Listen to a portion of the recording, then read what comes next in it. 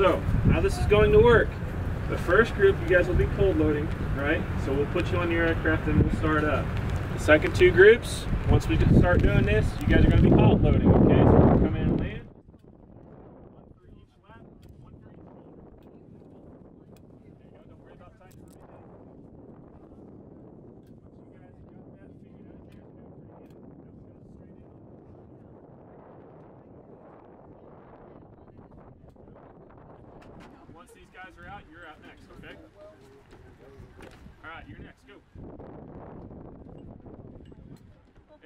simple as that, okay?